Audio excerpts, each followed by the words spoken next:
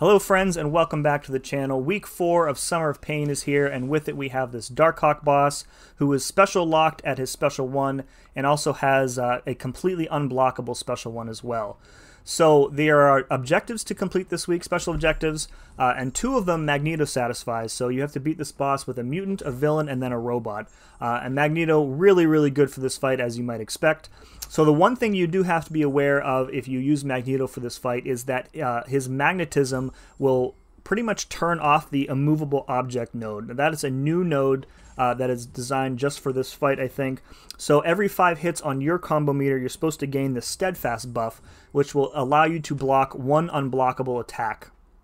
Now, since Darkhawk Special 1 is completely unblockable, if you don't have enough of those buffs on you and you don't have, you know, you aren't able to avoid all the hits of the beam, you're going to be taking some hits there.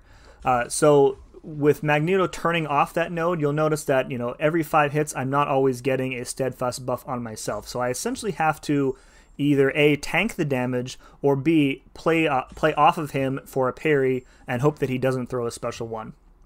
So we're going to launch our first special 3 here, and you're going to see, you know, even at rank 5, Magneto just so OP against robots. Uh, he's going to take roughly half of this Darkhawk's health off with one special 3.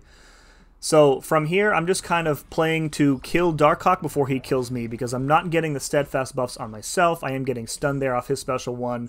Um, it's basically just do enough damage before you die. So you know, if you do this fight with Magneto, it's probably not going to be clean. You're, you're almost definitely going to take some hits, unless you can get Darkhawk to hold his special one for the entirety of the fight, which feels pretty impossible.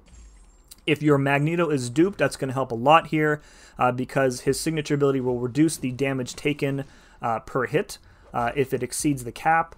Uh, other than that, you know, the rank 5 Magneto, if you have a rank 2 or rank 3 6 star, this fight's going to go a lot faster. You might be able to even finish it off in uh, one special 3.